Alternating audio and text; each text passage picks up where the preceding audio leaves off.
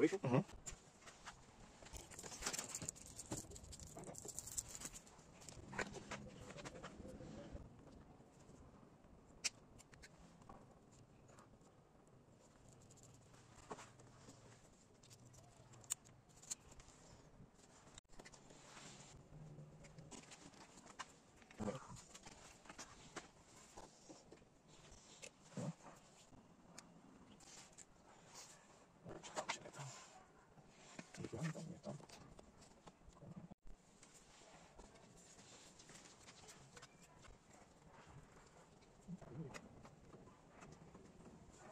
Bardzo taką. Szczerze mówiąc, nie poznimałem.